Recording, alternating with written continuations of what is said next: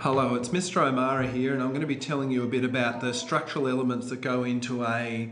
What did I say, Miss Luckman? What, what did I say we're talking about today? It's not an interview, is it? No, um, we're looking at what goes into um, a product. A product review. Product review. A product review. So let's have a look at. So we don't have a photo of you. That's a great shame. We just have a photo of me. But sadly, I'm not sitting on a horse. but that is what it is. So here we are in the OneNote. Struct, um, structure of a product review. So, what do you reckon they do first of all? Um, I don't know. I guess find the name of the product. Find a product review. You know, if you're interested in Xbox, if you're interested in Assassin's Creed, if you're interested in, you know, Dr. Pepper or whatever you're interested in, if you're interested in a type of skateware, find a product, product review about it.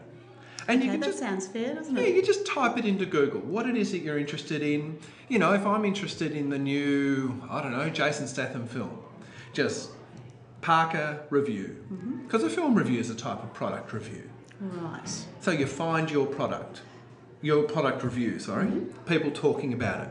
And I've got some links here for you in case you're not sure where to go to look for them, but this everything gets reviewed. We live in a review mad culture. What do you read reviews, Miss Luckman? Uh, yes, quite often movie reviews or, or music reviews. Yeah. Yeah. Okay. So then what you do is you paste your review in down the bottom. Now, it's got to be a text review. We're not looking for ones that are done on video. That's a mm-hmm. different format. So this is all in writing. Yep. And then you go through and you look for all of these elements. Do they mention the name of the product? Do they talk about what it does, how much it costs, so on and so forth? So you're actually going out into the wild and seeing what ingredients go into this thing called a product review. Okay. And so you've got the 10 questions there all on one note for the students to. All on OneNote, yep. at, So you're doing your own thing. You might want to compare notes with your learning partner and say, this is what I found. Okay. But ultimately, I guess you're producing one of your own.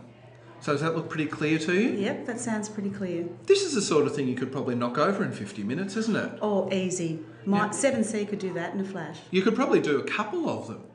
Because then you're getting a sense Oh, I of, think so. yeah, they might not mention it in the first review, but they mentioned it in the second one. Yeah, and because it's so interesting, and I'm sure if they've got if students have got products they're interested in, they could do two quite easily in 50 minutes. I reckon two. Okay, so that's the task. You want to say bye? Yep, bye. Bye from me too.